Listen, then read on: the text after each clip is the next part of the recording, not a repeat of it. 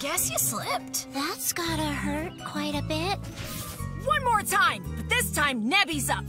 Huh? Where'd?